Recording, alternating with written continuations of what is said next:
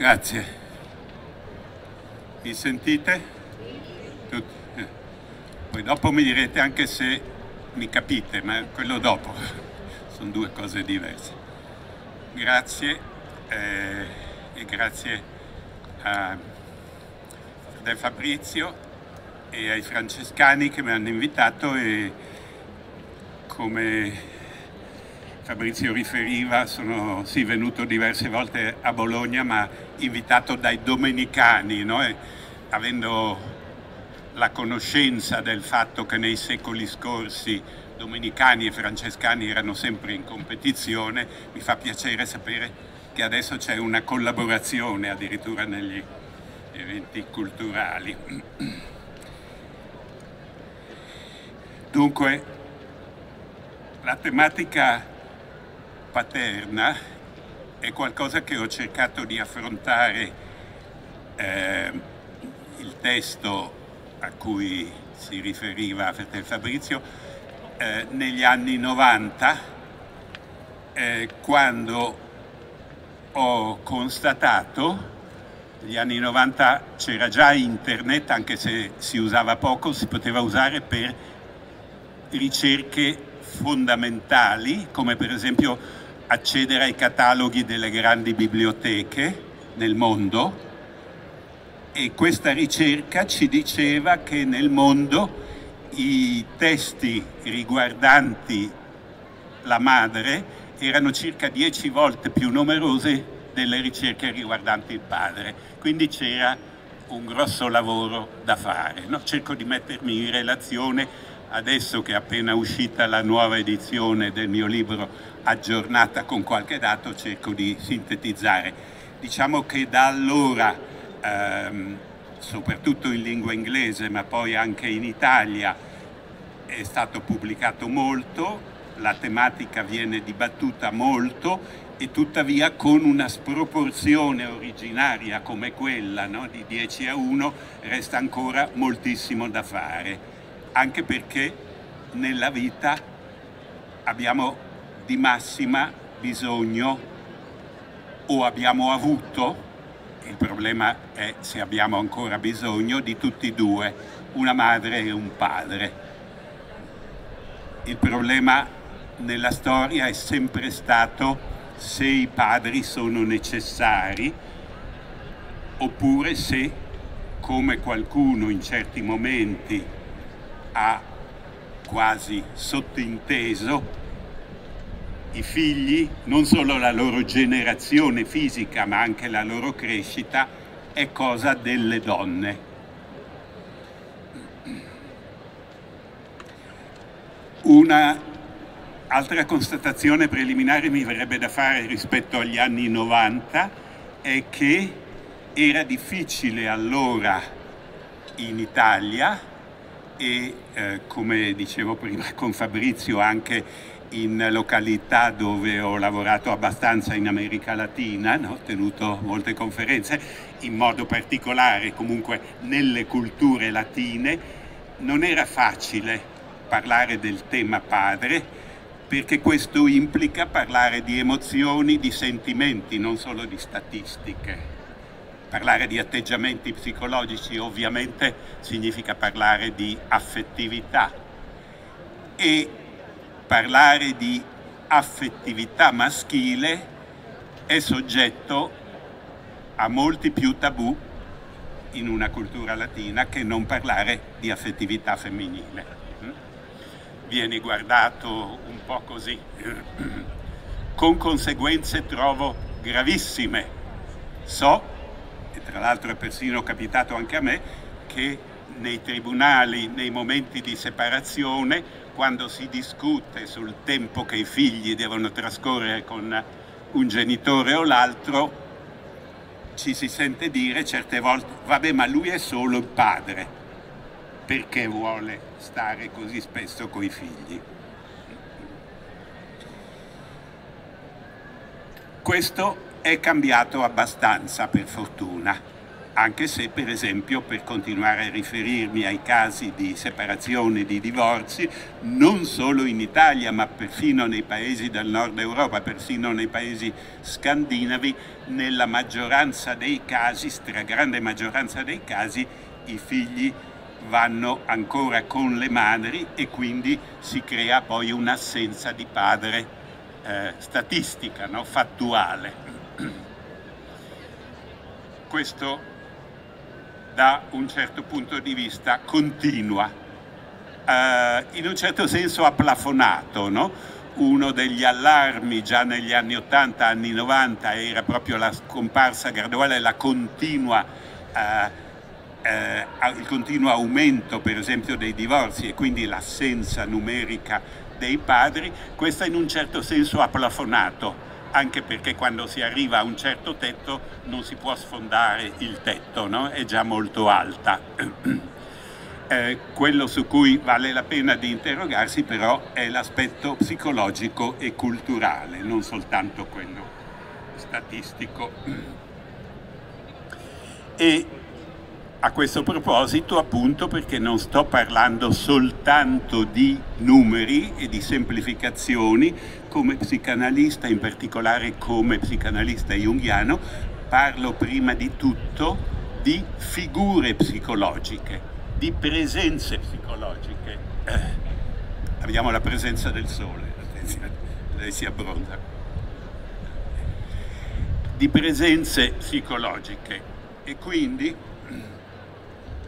non necessariamente, non necessariamente di persone con, come viene definito scientificamente, il sesso maschile con il cromosoma XY rispetto ad altre persone con il doppio Y, no? come la, la donna. No? Sto parlando di presenze psicologiche. Molto spesso il padre è assente anche se non è assente eh, una figura maschile in famiglia. No? Su questo dobbiamo tornare eh, da un punto di vista psicologico cosa vuol dire? Parlare di un principio paterno a cui molte volte le persone di sesso maschile hanno comunque abdicato. No? La scomparsa o l'assenza del padre significa questo, non soltanto la scomparsa per divorzi. E allora permettetemi di tornare con un'altra definizione che ho posto a suo tempo al centro della mia ricerca e che eh, direi con le constatazioni fatte successivamente rimane assolutamente ancora valida, non perché l'ho detto io, ma perché eh, diciamo, ho cercato di mettere assieme vari punti di vista psicanalitici ma anche di storici, di antropologi. Ho tratto moltissimo dalla più grande antropologa del XX secolo, Margaret Mead. E cioè questo, all'interno dell'identità femminile due sottoidentità o due polarità la compagna, la donna, la femmina e la madre sono due polarità unite armonicamente perché sono unite in tutte le culture anche perché sono unite già dalla natura, no? è inutile che lo specifichi questo, no? anche in tutte le specie animali e così nella specie umana. Il padre invece è sostanzialmente una creazione della civiltà, quindi una creazione umana. Anche gli animali a noi più vicini, le grandi scimmie, anche qui semplifico perché non sono, come sapete, i nostri antenati diretti, ma comunque non conoscono il padre. L'accoppiamento avviene quasi sempre per competizione dei maschi e quindi, qua passo all'identità dell'essere maschile, l'essere maschile ha due polarità presso noi umani, no? il maschio e il padre. Però il padre è una costruzione recente, è una costruzione della civiltà. O per dirlo in altri termini, è la storia che ci ha dato il padre. e la storia cambia continuamente, la storia potrebbe riprenderselo. Da questo nascono le nostre preoccupazioni e infinite ricerche. No? La madre e la femmina sono due fatti istintivi, il maschio e il padre sono uno un fatto istintivo, l'altro un fatto in un certo senso anti-istintivo. È un auto-addomesticamento del maschio, il padre, no? una creazione istituzionale della civiltà, che tra l'altro proprio nel nostro cosiddetto Occidente, nella nostra antichità classica greco-romana, raggiunge il suo punto più alto e diventa quello che abbiamo chiamato civiltà patriarcale. No? E naturalmente l'interrogativo è se con le critiche che il secolo XX ha fatto agli eccessi del patriarcato e dei padri, e scusatemi se per brevità semplifico facendo equivalenti due concetti che poi non lo sono, no? una cosa è padre, l'altra è patriarcato che è ovviamente un'istituzione sociale, ma insomma per brevità mettiamo assieme le due cose, aver rigettato gli aspetti più violenti della centralità del padre e del patriarcato, gli abusi in tutti i sensi di autorità, eh, ma anche eh, del resto dei padri nella storia, se non ha però condotto ad una eh, quasi abolizione di una istituzione che invece dovrebbe sopravvivere, no? il padre, mm, e che non può essere sostituita. Perché? Perché se avete seguito il ragionamento che ho cercato in modo molto condensato di farvi, all'interno dell'identità maschile, no? questa bipolarità appunto maschio e padre, non è così simmetrica e così ben unita come le due polarità femminili, no? è molto recente, il padre è relativo, questo lo dicono tutti gli studi storici e antropologici, è creato dalla cultura, quindi varia con le culture, è ovvio dirlo, nel nostro Occidente o in Oriente ci sono differenze enormi e il problema è, e l'interrogativo su cui dobbiamo riflettere noi oggi, se vogliamo riflettere sul presente, cercando di interrogarci su quali sono i problemi che affronteremo nel futuro, voi giovani, io sono abbastanza vecchio, l'interrogativo è se la società che ha giustamente criticato tanti eccessi, che ha giustamente attribuito più diritti alla donna durante il XX secolo, nel XXI secolo però è risultato degli auspici che si facevano allora, che si faceva per esempio il femminismo quando diceva con una maggior presenza femminile, per esempio, ci sarà nella politica per dire no, ci saranno più interventi sociali no, che nutrono, sono un prolungamento della funzione materna e meno guerre che sono invece un attributo tipicamente eh, maschile, no? si investirà di più nei servizi sociali e meno negli armamenti.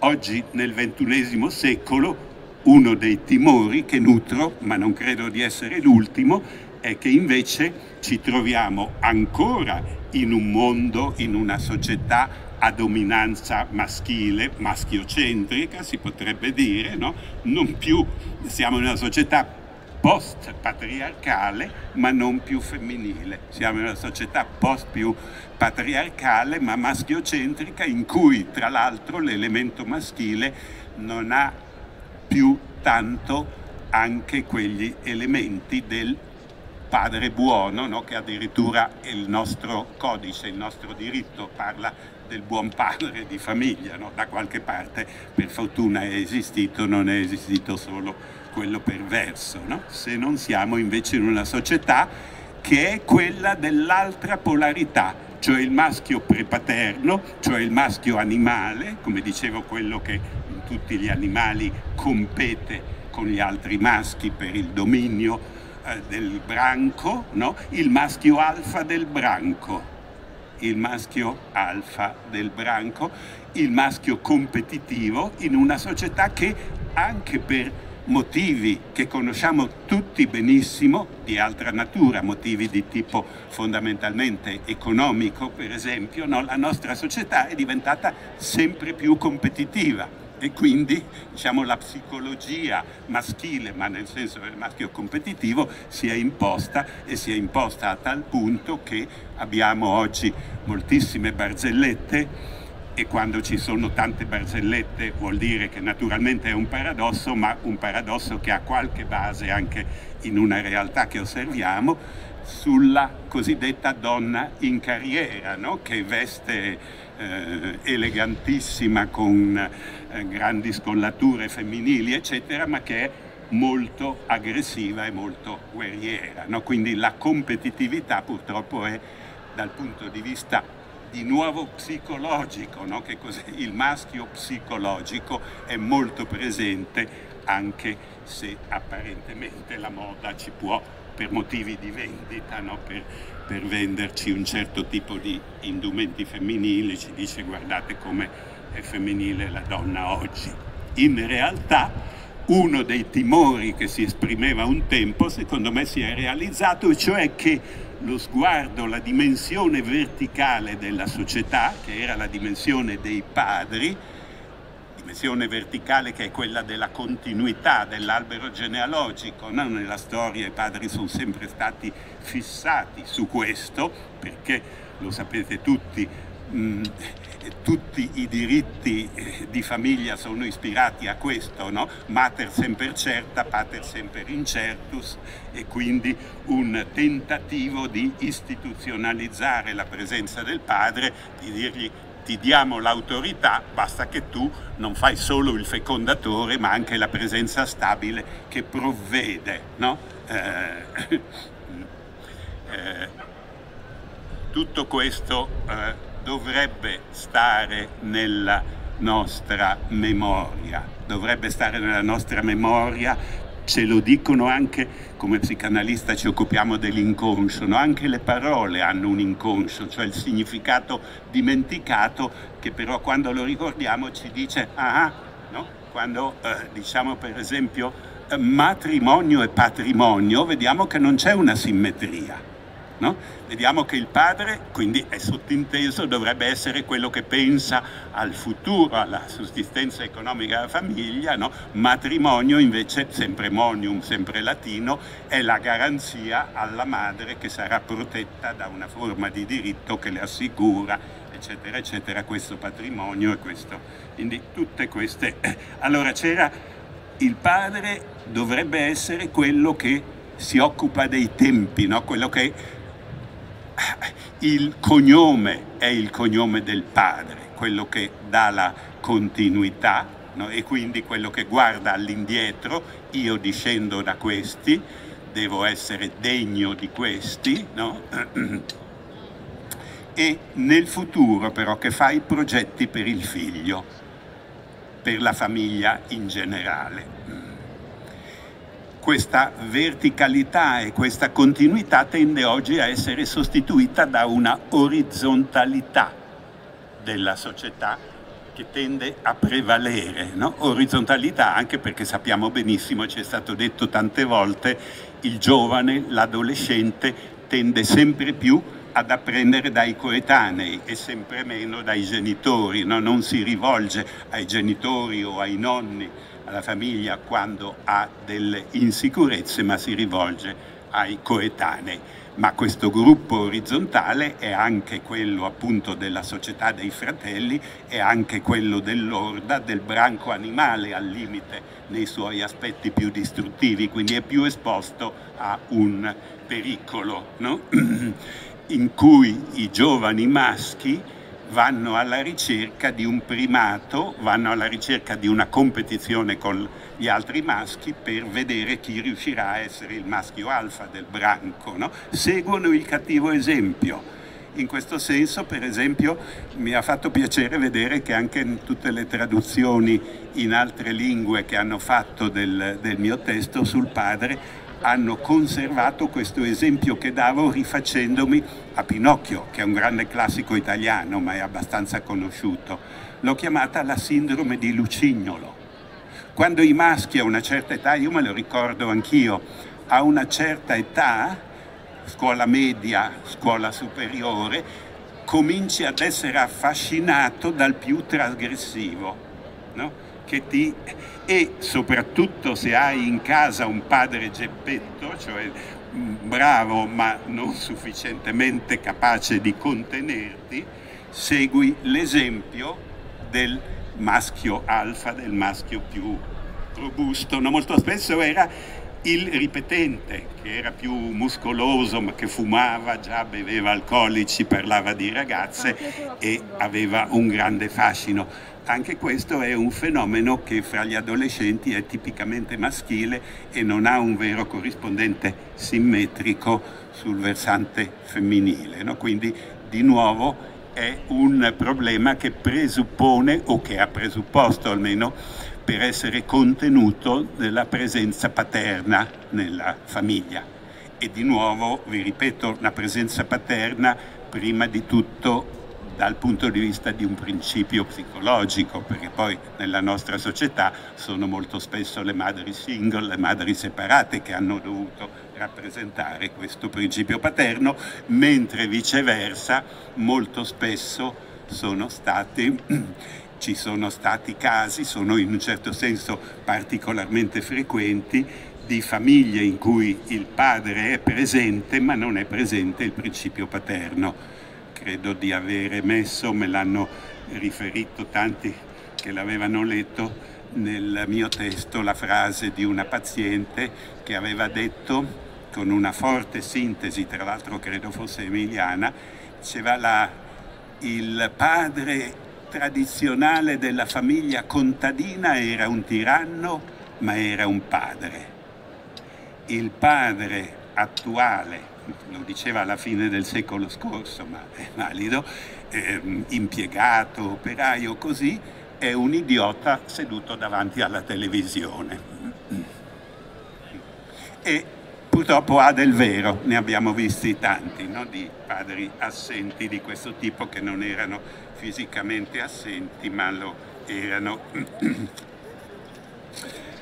Dunque, come vi dicevo, esistono se posso riassumere anche qui dei, eh, delle sintesi psicanalitiche che io ho fatto per eh, quello che riguarda un, un, un, pubblico e una conferenza di informazione più generale come qui oggi, esiste, diciamo così, una funzione primaria che da sempre in tutte le società è stata affidata alle madri, che è quella di esaudire i bisogni, i desideri del bambino, no? che è un proseguimento ovviamente della, eh, prima di tutto della gravidanza, no? poi la, il nutrimento attraverso l'allattamento e un atteggiamento psicologico ma anche culturale nella gran parte delle culture, ma anche legato alla eh, scissione domestica dei compiti per cui è la madre che cucina, eccetera, eccetera,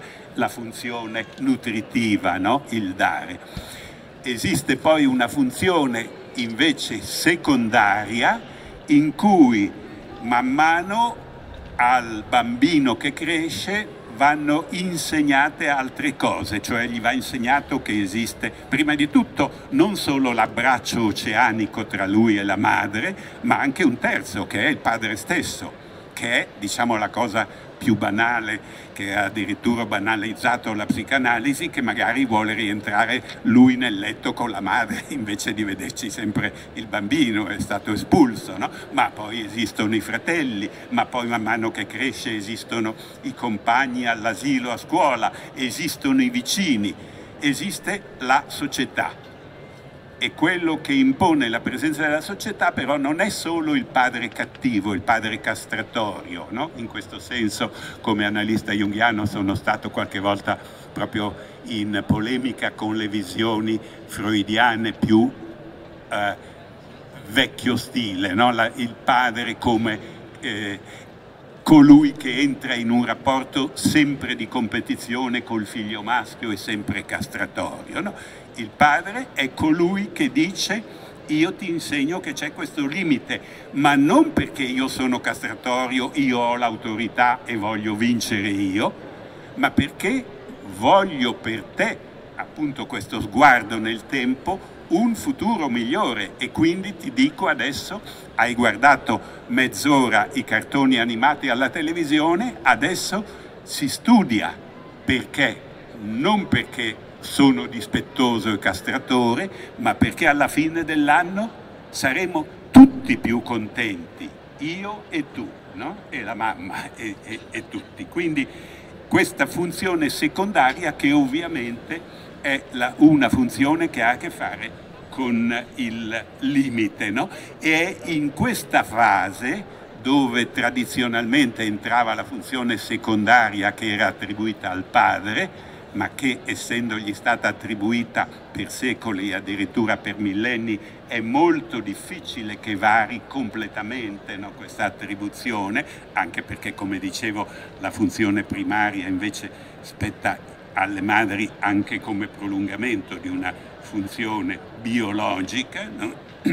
E in questa funzione, in questa fase secondaria della crescita, ma anche qui non è ovviamente necessariamente una fase cronologica, può avvenire prima o dopo, ma sto parlando di un tipo di intervento, di un tipo di eh, funzione psicologica che da sempre è stata necessaria questa funzione maschile. Le madri molto spesso hanno dovuto sostituire i padri, anche in passato, Oggi con l'aumentare di famiglie monogenitoriali, che sono prevalentemente famiglie in cui c'è solo la madre, di nuovo saranno le madri a doverlo esercitare, però è una funzione paterna. Uno degli aspetti buoni che ha avuto la Chiesa nel nostro paese nei secoli no, è stato di offrire spesso, laddove mancava, un padre metaforico no, in sostituzione di questo.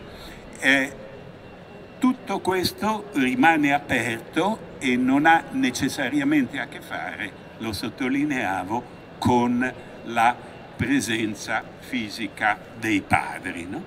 Oggi dicono eh, le osservazioni, abbiamo segnali di diverso tipo, contraddittori e quindi sta a noi vedere come ne usciremo. Da un lato sicuramente anche in Italia oggi come un po' prima nel nord Europa abbiamo sempre più padri accudenti no? che si occupano dei bambini anche piccoli, che fanno dei turni nel cucinare, nell'occuparsi dei bambini nel senso più diretto. Il problema è che questo eh, è un ottimo aiuto per quello che riguarda ciò che abbiamo chiamato la funzione primaria. Non copre ancora quella che chiamiamo funzione secondaria e in un certo senso l'inconscio di nuovo linguistico del, del nostro linguaggio riconosce questo e incorpora questa preoccupazione per quello che verrà dopo nel nostro paese proprio perché per questi padri accudenti si usa spesso l'espressione che a me non piace tanto, mammo, perché è di apprezzamento ma anche al limite dello svalutativo, no? è un riconoscimento che può essere anche svalutativo, non è necessariamente una valutazione, no? e quindi è se posso usare qui un linguaggio psicanalitico, la famosa definizione del forse il più celebre psicoanalista dell'infanzia, Winnicott, no, che parla di madre sufficientemente buona, è una madre sufficientemente buona di sesso maschile, questo mammo. No? Il problema è cosa avverrà dopo con gli adolescenti, soprattutto gli adolescenti maschi che vanno contenuti e che dicono tutte le statistiche, laddove è assente il padre sono molto più propensi ai comportamenti trasgressivi, sia all'andare male a scuola sia alla criminalità. No? Dicevamo prima, per esempio, esistono statistiche impressionanti, ovviamente soprattutto di nuovo quelle di società complesse e sgranate come quelle dell'America Latina, no? sgranate nel senso che c'è una base distantissima dal vertice della piramide, una complessità etnica, culturale, economica, eccetera. Se andiamo alla base della società c'è una grande assenza di padri e c'è delle bande criminali che si perpetuano, però negli strati più bassi della società la prossima generazione, i giovani maschi, finiscono nella criminalità molto più facilmente quando vengono da famiglie senza padre, anche rispetto ad altre famiglie, dico la povertà, no? l'esclusione sociale ovviamente vanno combattute, ovviamente contano anche quello, ma a parità di povertà, laddove c'è il padre, il figlio studia e quindi nella generazione successiva esce da quella, come sta dimostrando l'America Latina, in cui in moltissimi paesi si stanno finalmente formando le classi medie e, e il superamento no, di questo. Ma voglio dire, il superamento è un fatto economico, ma è anche un fatto di questo tipo. E a questo eh, vorrei aggiungere un'altra realtà ehm, etnico culturale che non conosciamo abbastanza nel nostro paese, ma che va tenuta presente proprio perché è sempre da qualche studio anche comparato no? che capiamo meglio le cose. Noi ci ricorderemo, o sicuramente qualcuno si ricorderà, di un personaggio che adesso è passato nell'ombra, che si chiama Obama, perché Obama non ha fatto solo, chissà se hanno funzionato, politiche sociali contro l'esclusione, ma ha intrapreso per primo delle politiche sociali per gli afroamericani facendo delle grandissime campagne per restituire ai giovani maschi di colore afroamericani l'orgoglio della paternità. Perché l'esclusione degli afroamericani dalla società del benessere americana a un secolo e tre quarti dalla fine della schiavitù che continua in certe parti del paese drammatica come allora, è dovuta in gran parte a questo.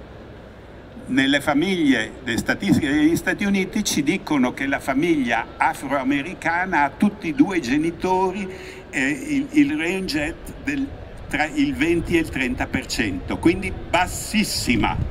E di nuovo senza padre non si entra. Allora vi dico anche un'altra cosa perché la vediamo ormai anche in Italia, io ho vissuto a Milano a Chinatown, uno dei motivi per cui anche qui non facciamoci ingannare solo dalle statistiche, i cinesi lavorano molto e diventeranno la prima potenza economica del mondo, uno dei motivi per cui la Cina sta non diventando ma tornando ad essere come era nei millenni scorsi, fino a 500 anni fa, la prima potenza del mondo, sta in questa costante presenza dei padri. No? I, I cino-americani negli Stati Uniti hanno un 80, quasi 90% di presenza del padre nella famiglia, quindi quello è un elemento predittivo sul successo della prossima generazione. Quindi ci sono dei, eh, degli elementi enormi.